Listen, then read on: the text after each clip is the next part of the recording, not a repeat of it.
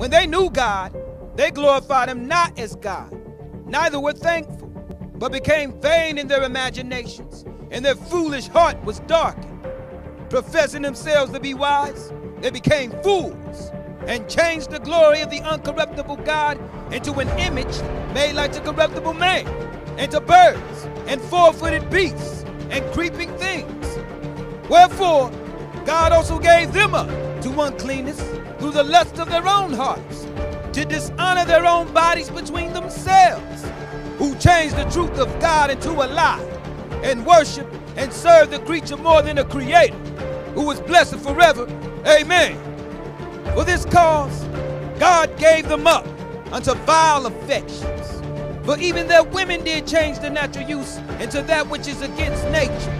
And likewise also the men, leaving the natural use of the woman, burning their lust one toward another, men with men, working that which is unseemly, and receiving in themselves that recompense of their error, which was meet.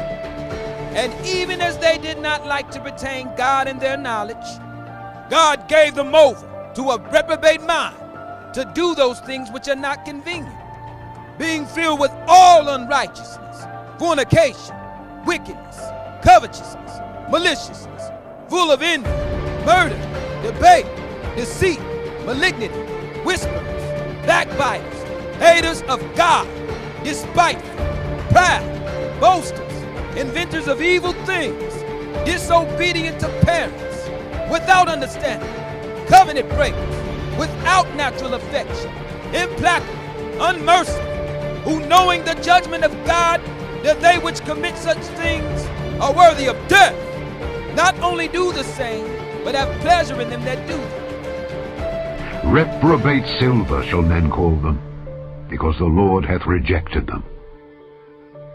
What does the word reprobate mean? Well, in Jeremiah chapter 30, or 6, verse 30, the Bible says, Reprobate silver shall men call them, because the Lord hath rejected them. So the Bible's likening these people to silver, who in the previous verses it talks about the billows, it talks about the fire, all the dross has gone out, but it's still like this this silver, even though they've burned it with fire and melted it down, it's still worthless. And the Bible says, just like that he's likening this people to that silver, and he's saying it is silver that's just it's just good for nothing, you should just throw it away, it's rejected. And it's saying, Reprobate silver shall men call them, because the Lord hath rejected them. Reprobate silver is silver that's been rejected by the refiner. A reprobate person is somebody that's been rejected by God. When the Bible speaks about reprobates, it emphasizes the mind of a reprobate. Are you there in Romans 1? Look at verse 28. And as they did not like to retain God in their knowledge, God gave them over to a reprobate. Notice it doesn't say soul, it doesn't say body. It does it says he gave them over to a reprobate mind to do those things which are not convenient. Go to 2 Timothy chapter 3. Let's look at the next mention of reprobate. Reprobate. Look at 2 Timothy chapter 3 verse 7. The Bible reads, "Ever learning and never able to come to the knowledge of the truth." Pay attention to that statement. Ever learning and never able to come to the knowledge of the truth. Now, as Jannes and Jambres withstood Moses, so do these also resist the truth. Men of corrupt minds reprobate concerning the faith. There's your reprobate mind, right? They're men of corrupt minds. What's their mind like? Their mind is reprobate concerning the faith. Okay, so what does a reprobate mind look like according to this verse? It's someone who's ever learning, but never able to come to the knowledge of the truth. What does it mean to not be able to come to the? It means you can't. You cannot come to the knowledge of the truth. Why? Because you've been rejected. You're saying the blood of Jesus Christ doesn't wash away every sin. I'll give you two answers to that. Number one, the Bible says if you blaspheme the Holy Ghost in Mark 3, if you say that Jesus had a devil, you're, you're, you're a reprobate. There's, that's not, it's an unforgivable sin. Put that in your pipe and smoke it. Amen. That's what the Bible said. Amen. That was the word of Jesus Christ in red. Okay? Number two, you say, does Jesus uh, forgive sodomite acts? The answer is yes. Let's say somebody coerces. The Bible says in Habakkuk 2.15, Woe unto him that giveth his neighbor drink, that putteth thy bottle to him, and maketh them drunken also that he may look upon his nakedness. Talks about somebody getting somebody drunk and coercing them into doing a sodomite act. Now let's say, let's flip, let's use a different sin. Let's say adultery. Let's say a guy sees a married lady and she's all by herself, and he gives her a few drinks. She, her guard's let down and she commits adultery. It's still adultery. It's still wicked. She still is in sin. She can't say, I was drunk. She was in sin. It's a wicked act. The Bible says, put to death. If somebody coerces somebody into being to doing some wicked act, it does look, and I'll get into it, but I'm just going to say it right now. Committing sodomy, a sodomite act, does not make you a reprobate. They were a reprobate. They were given up way back when. Being a reprobate, being a total sodomite, loving the sodomy and all that stuff, that is something that's just a, a symptom of being a, of a reprobate. That's just one symptom. You know, I refuse to use the term gay. Because the term gay is used in the Bible just about someone who's happy or, or cheerful. Okay, this is something that's considered strange in the Bible or sodomite. So those are the words that I'm going to use queer or sodomite. I'm not going to use the world's term. But let me tell you something right now. And I'm just going to warn you right now that many people are going to find the sermon that I'm going to preach right now very offensive. People are going to be offended by it. And you know what that tells me? That just tells me that the brainwashing's going really well. TV and Hollywood and, and the music industry have done their work because everything I'm going to preach tonight is directly from the Bible and it's going to offend a lot of people, but ask me if I care because you know what? The Word of God is crystal clear on this subject. I'm going to be crystal clear on this subject and people are going to be offended because they have been taught by Hollywood and taught by the mainstream media and they've been taught by the music and the TV shows that homosexuality is a normal alternative lifestyle and that they are normal people. That is not what the Bible teaches anywhere.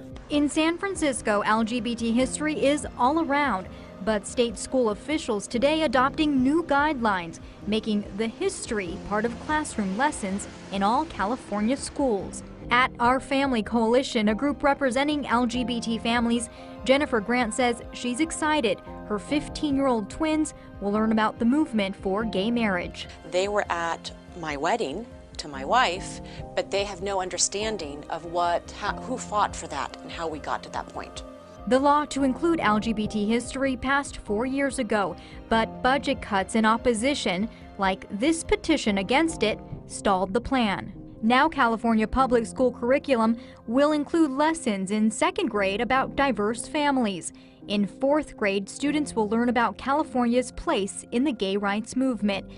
In fifth grade, eighth grade, and high school, students will learn about gender roles in the 18th and 19th centuries and examples of individuals who flouted them. In the classroom, students will learn about prominent LGBT historical figures throughout the world. Perhaps they'll learn about someone like Oscar Wilde, the Irish writer. We may not agree with all the history or the experiences. We may embrace some of it, but I really want my children, and I would hope all parents would want their children, to learn about everything that's out there and then make up their own minds. The latest victory in the gay rights movement now in the classroom.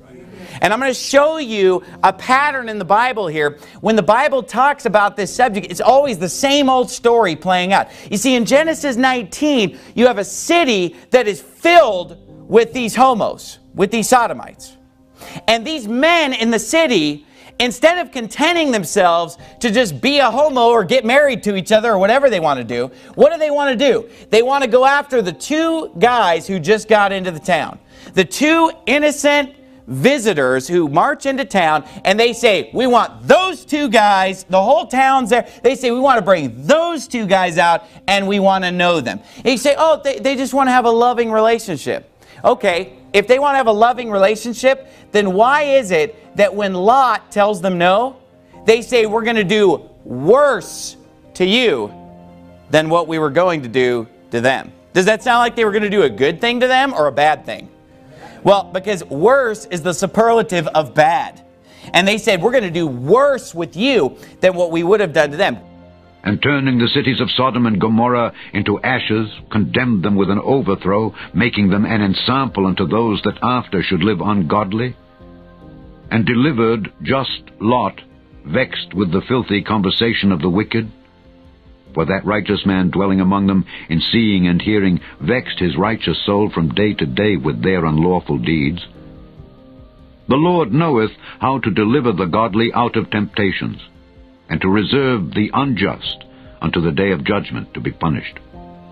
But chiefly them that walk after the flesh in the lust of uncleanness, and despise government.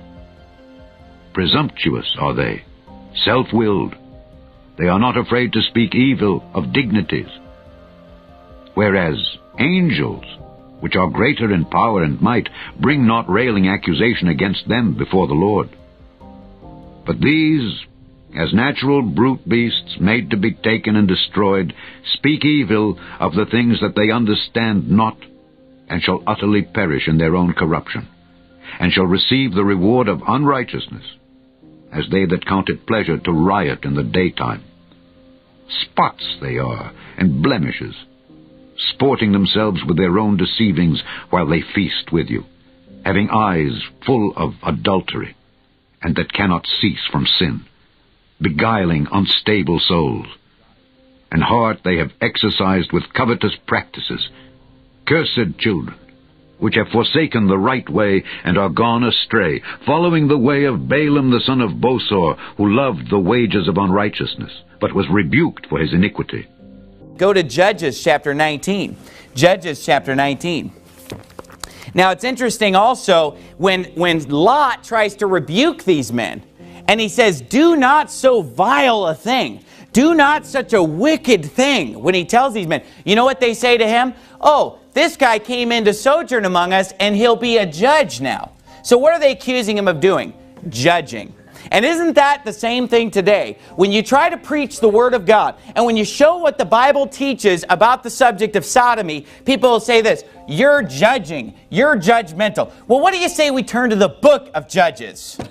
I mean, it seems like a great book to go when we're dealing with this subject. You know, the only time I see somebody telling you, oh, you're judging, you know, they were the ones who were guilty of this wicked sin. And they, oh, you're judging. Look at Judges 19.22. We find a very similar story. Here's a guy who's traveling with his concubine or his live-in girlfriend and a servant. And he shows up in a town. It's a similar story, except in this story, he's trying to find a place to stay. He can't find anywhere to stay.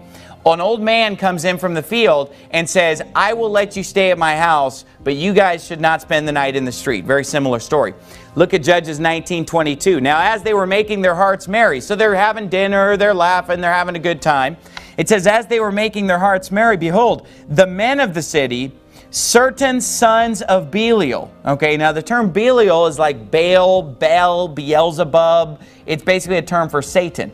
And it says, certain sons of Belial beset the house round about and beat at the door and spake to the master of the house, the old man, saying, Bring forth the man that came into thine house that we may know him. Does this sound familiar? This is several hundred years later.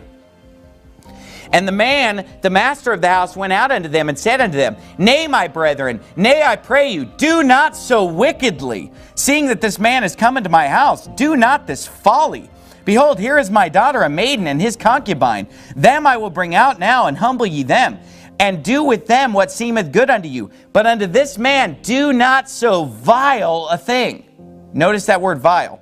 But the men would not hearken to him. So the man took his concubine and brought her forth unto them. And they knew her and abused her all the night until the morning. And when the day began to spring, they let her go. Then came the woman in the dawning of the day and fell down at the door of the man's house where her Lord was till it was light. And her Lord rose up in the morning and opened the doors of the house and went out to go his way. And behold, the woman, his concubine, was fallen down at the door of the house and her hands were upon the threshold. And he said unto her, Up, and let us be going. But none answered. Then the man took her up upon an ass, and the man rose up and gat him at his place. She's dead. Now you say, well, this isn't a very pleasant story. This isn't a very pleasant sermon. No, it's not a very pleasant subject. But this, my friend, is reality that you're seeing tonight. You see, what you see on TV is a lie. What you hear in the music is a lie. What you see in the Hollywood movie is a lie. This is the truth. And when you come to church, you should expect to hear the truth about every subject. And tonight, you're going to hear the truth about the Sodomites. Welcome to World News. A 30-year-old man is facing multiple life sentences after being exposed as one of the UK's worst ever paedophiles. Richard Huckle posed as an English teacher as he abused as many as 200 children from deprived communities in Malaysia. His youngest victim was only six months old. The Old Bailey in London heard that he filmed himself raping children and even wrote a guide for others on how to get away with it. Detectives discovered 20,000 indecent images on his computer. Huckle appeared in a promotional video for the British Council in Malaysia, where he took a short teacher training course. He taught English and Bible study to the children of a poor community there. But secretly, he raped babies, toddlers, and teenagers, girls and boys, systematically over many years. He's only just turned 30. Huckle's sister in law told me None of his family will speak about him. None of us ever want to see Richard again. A lot of people want to know this. Why do y'all refer to homosexuals as predators and pedophiles? Now, it's pretty clear if you read the Bible, Genesis chapter 19, Judges chapter 19. I'm not going to go into it. Every time you see them in the Bible, they're preying on somebody. All right?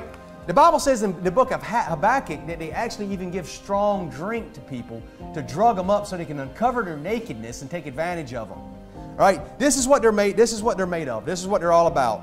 And guess what? If the Bible if if if, if the Bible picked See, you've been brainwashed by Will and Grace, and you've been brainwashed by television. I'm trying to brainwash myself to reality by the King James Bible. All right, the King James Bible paints them as predators. And look, predators go after easy prey. They're going to go after the easiest victim they can find, and there's nobody easier than a child. They don't reproduce, so they have to recruit. It's for their survival. All right, they recruit kids they go, and they like going after fresh meat. It's the same thing in Genesis. They, they went after some fresh meat. Same thing in Judges 19. They're going after some fresh meat. And here's how I'll prove to you that they're pedophiles.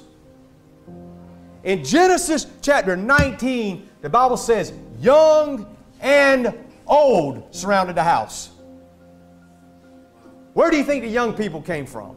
They got recruited. They got messed with. Now, I'll give you more proof that they're predators and they prey on kids. Romans chapter 1, the list of things that reprobates are filled with, it says one of them in there disobedient to parents. That means there's young children who are reprobates. They got preyed on, they got messed with and, and, and they rejected Jesus Christ and went over to their side. Now, the Bible proves it. NAMBLA proves it. Anybody know what NAMBLA is? When I was in the military, we used to have to donate to confi- com- we, they would ask us to donate to these charities. I took my book, my charity book that the government put in my hand for a government, I could get a tax write-off for donating to this charity. NAMBLA. North American Man Boy Love Association. A group of filthy, stinking perverts who want to petition to have the age of consent lowered from 18 to 12. They prove it. They prove they're pedophiles. Uh, Hollywood proves they're pedophiles. You ever heard of Corey Haim and Corey Feldman? Go listen to one of their testimonies sometime about how they were passed around like rag dolls and raped and everything else by a bunch of freaks. Catholic priests prove it. 60% of Catholic priests, I've read statistics where 60% of Catholic priests are homos. And I read some figures recently said there have been over 17,000 children have come forth from 1950 to 2015 of children that were messed with by Catholic homo priests. And that's just the ones that came forward. Is it any question that they're pedophiles? now, they have a saying, eight before it's too late. If they can expose themselves to a little boy in a restroom somewhere or mess with a little boy somewhere and get in his brain and get in his mind and mess with him, they feel like they can recruit him over to their side. If they can get him for his eight, they got him. And you wonder why we don't want him around our children. You wonder why Jesus gave you a specific command give not that which is holy to dogs for these children's sake. And these Baptist preachers are opening up the doors to them all across the country and they're flocking in. Well, Denise, this is literally a case that's pitting brother against brother. On one hand, you have one son who's describing in detail some of the graphic, you know, alleged sexual abuse that happened at the hands of his two fathers. On the other hand, his own blood brother is saying none of that is true. Now let's go ahead and take a look at video just shot moments ago. The two men at the center of it all are George Harasz and Douglas Wirth. Here they are leaving the courthouse together moments ago. They had no comment for us, and they adopted nine children in all. Some of them are accusing the couple of doing the unthinkable. We're talking about rapes, locking children in cages, and many more things just too graphic for TV. You say it's an unpleasant sermon? Of course it's an unpleasant sermon. We're preaching about the sodomites. It's an unpleasant subject. The fact that like I had molested all these kids, basically. Like, if anybody finds me out, I'm in a lot of trouble. I molested them. I molested them. I molested them. What's the youngest dude you ever got with? To my age, like different? Yeah. Well, I was in the Army or Air Force. I was stationed in Hawaii, and Eddie, who I knew from there, introduced me to a guy. He was 15. I brought him into the bar on Halloween with a mask on and everything, and we all hooked up with him. Well, mine wasn't very pleasant. I was raped by my brother. Oh, wow. How uh, 13 years older than I. How old are you, were you when it happened? Seven. Seven years old? And he was 20? Wow. Is he still alive? No, he's dead. Do you think that made you gay? I think he had a lot to do with it. Uh, afterwards, honestly, I wanted every man that I could because I was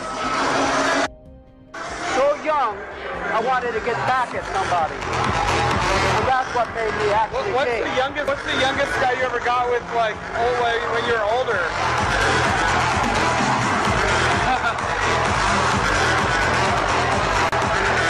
Twelve. Like, oh, kid was twelve. How old were you? I won't tell you because I'll go to jail. You say, well, what have we learned so far tonight? Well, number one, we learned that reprobate means rejected, right?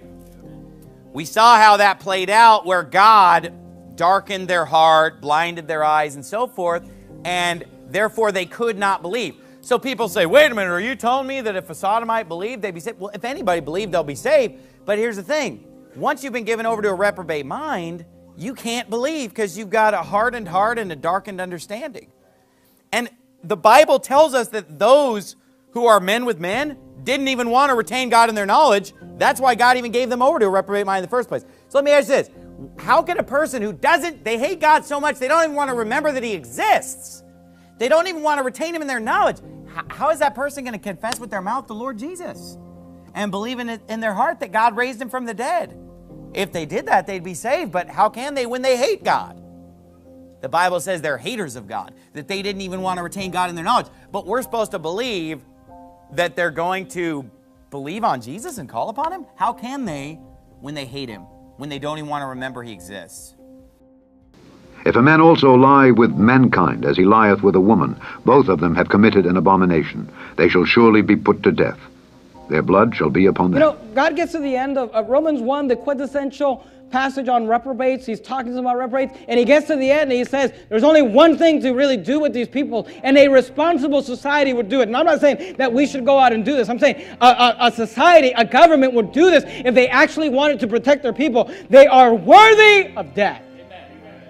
That's the only way you fix a reprobate. You take their lives. That's what the Bible says. That's what the Word of God says. That's what should be done. Titus chapter 3 and verse 5. Should we reach out to these people? Titus chapter 3, verse 5. I'm sorry, 2 Timothy chapter 3, verse 5. 2 Timothy chapter 3, verse 5. Should we reach out to these people? Should we go out and try to get them saved? People I'm going to go out and get a sodomite saved. Is that something we should be doing? You can't get a sodomite saved. Look, if, if, if they're given over to that sin, it's because they've got no conscience. It's unnatural. We'll talk about that tonight. 2 Timothy 3 5. 2 Timothy 3 times. Having a form of godliness. Well, well I, gave the gospel as homosexual and he got saved. Having a form of godliness, but denying the power thereof. Say, what do you do with them? From such turn away. Listen to me. That's why we don't we don't believe in the born that way ministry.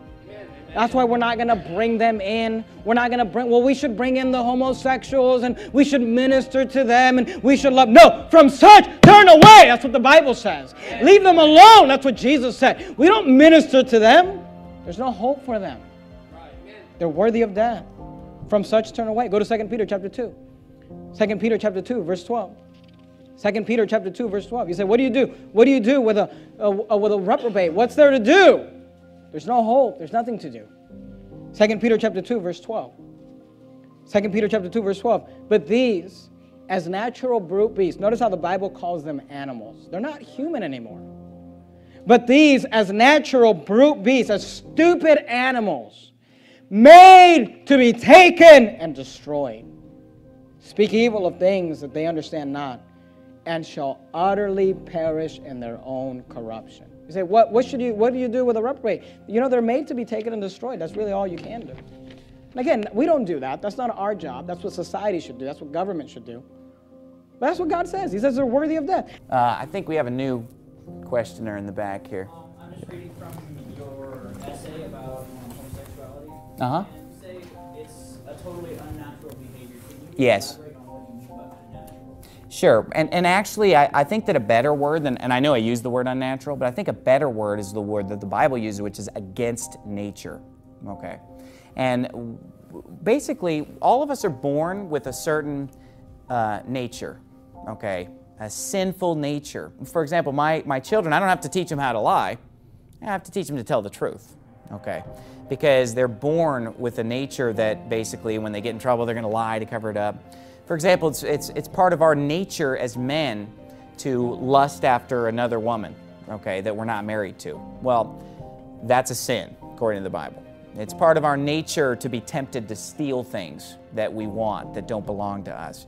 So we are born sinners. That's why we sin all the time. You know, we have to make an effort to do what's right, okay? That doesn't come easily to do what's right. Now, homosexuality is not part of that sinful nature, okay? Because, for example, I'm tempted to do all manner of sin. And, for example, I'm driving down the road, I see a billboard, there's a girl in a bikini. The temptation is going to be for me to look at that and lust after that. It would be a sin for me to do so. I have to tell myself, hey, the Bible says no. You know, don't look at that. You know, keep my eyes on the road, not look at that uh, wicked image. Okay. But if I'm driving down the road and there's some guy in his underwear on the billboard, it's not like, oh man, I got to make sure I don't look at this. It's just like you don't care. There's no desire there. It's not a natural, normal thing. And the Bible says, there hath no temptation taken you, but such as is common to man. Okay? So the Bible says that, you know, what you're tempted with, and he's talking to Christians in Corinth. And he says to these Christians, he says, There's no temptation taken you but such as is common to man. He's saying, Hey, you're not the only one that has these temptations. It's common to man. But being tempted with another man is not common to man. Being tempted with animals or children, no, that's not common to man. That is not a natural, sinful desire that you're born with. That is something that's totally against nature because the, the natural man, the normal man, okay, and when I say normal, I mean the one that has not been turned over to a reprobate mind, according to the Bible in Romans chapter 1. The natural normal man uh, does not have these desires toward the same gender, okay? And when a man, if, if a man were to walk up to him and touch him inappropriately, you know, he's going to be repulsed by that. He's going to be grossed out by it. If he's exposed to homosexuality, it's going to gross him out. Now, the media, Hollywood, and TV is working to desensitize you to that and get you used to it to where you're comfortable with it, but naturally, you're not comfortable with it. And so that's what I mean by the fact that it's not natural, it's against nature. And it's only a person who reaches a point, and in Romans chapter 1, the Bible talks about a person who, you know, rejects the truth, rejects the Lord Jesus Christ, and gets to a point where God basically gives them up. And he uses that term three times. It says he gives them up, he gives them over, he gives them up. And he basically gives them over to a reprobate mind to do those things which are not convenient. And not convenient means they don't come naturally, okay? And uh, if you think about animals, they do homosexuality. Animals will do a lot of really dirty, unsanitary things that humans will not do. They'll throw up and then they'll lick up their own vomit. They'll, they'll, they'll, they'll lick their own private parts. They'll, they'll, they'll eat excrement and stuff like that. Okay? Well, a human being is grossed out by that kind of stuff. But see, when God gives them up and gives them over, the Bible says, you know, they basically become like an animal where they don't have the normal restraint of a human being that's made in the image of God, and it just causes them to go after all kinds of other animalistic, strange flesh and And Asa did that which was right in the eyes of the Lord, as did David his father. And he took away the Sodomites out of the land, and removed all the idols that his fathers had made. You know, the Bible's really clear on salvation. It's not based on how good you are. A lot of people think they're pretty good, you know, and yeah, they're going to get to heaven because they're pretty good. But the Bible says, For all have sinned and come short of the glory of God. The Bible says, That is written, there is none righteous, no, not one. I'm not righteous, you're not righteous. And if it were our goodness that would get us into heaven, none of us would be going.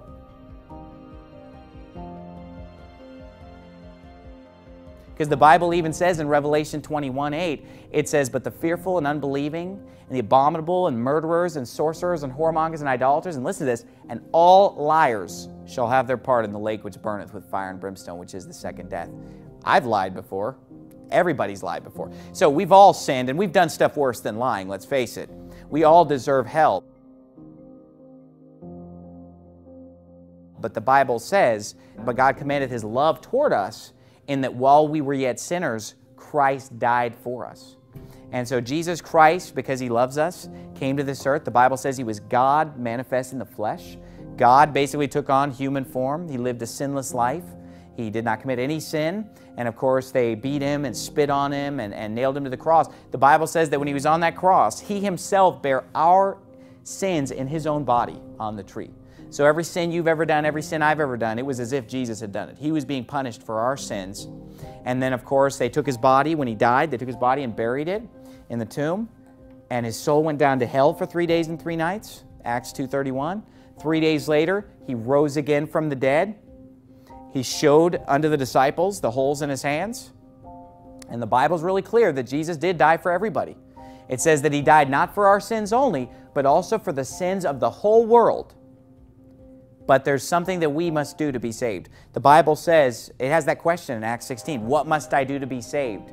And they said, Believe on the Lord Jesus Christ, and thou shalt be saved in thy house. And that's it. He didn't say, Join a church and you'll be saved, get baptized and you'll be saved, live a good life and you'll be saved, repent of all your sins and you'll be saved. No, he said, Believe.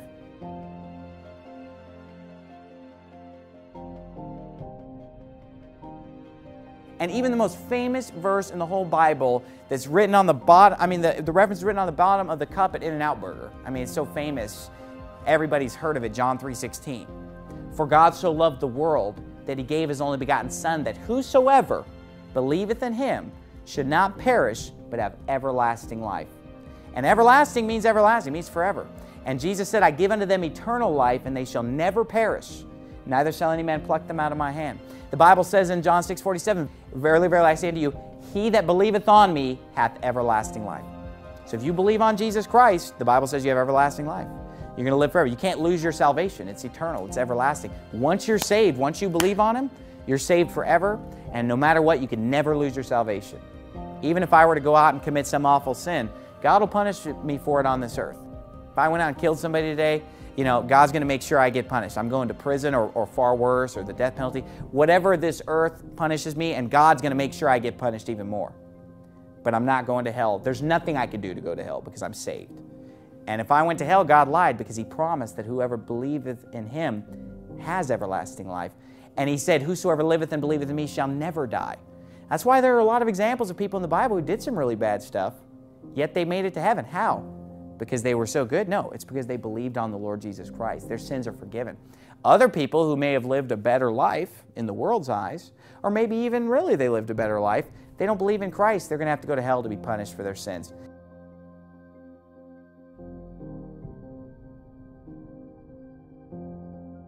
And let me just close on this one thought. One thing that I wanted to be sure and bring up today is that there was a question that was asked to Jesus by one of his disciples. And that question was this Are there few that be saved? That's a good question, right? I mean, are most people saved? Or is it few that are saved?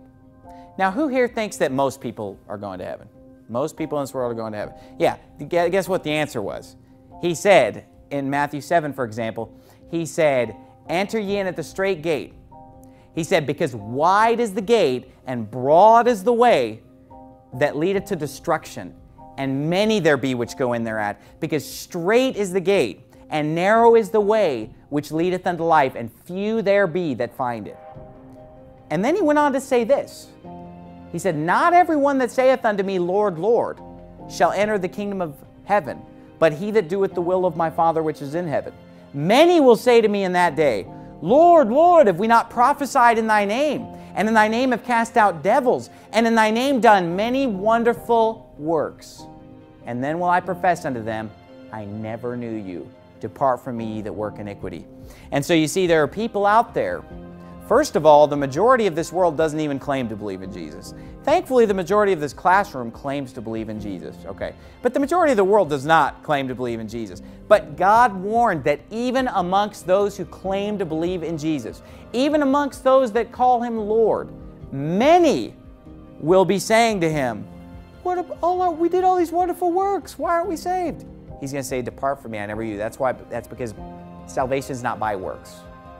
And if you're trusting your own works to save you, if you think you're going to heaven because you've been baptized, or if you think you, well, I think you have to live a good life. I think you have to keep the commandments to be saved. I think you have to go to church. I think you got to, you know, turn from your sins. You know, if you're trusting in your works, Jesus is going to say to you one day, Depart from me, I never knew you. You have to have all your faith in what He did.